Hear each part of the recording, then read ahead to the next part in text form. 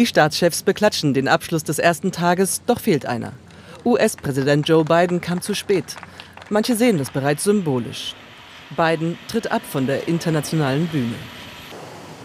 Der Tag begann mit einem Erfolg für Brasiliens Präsident Lula da Silva. 81 Länder haben sich seiner Allianz gegen Hunger und Armut angeschlossen. Das wird unser größtes Vermächtnis sein. Es geht nicht nur darum, Gerechtigkeit zu schaffen. Es ist eine wesentliche Voraussetzung für den Aufbau einer wohlhabenderen und friedlicheren Welt.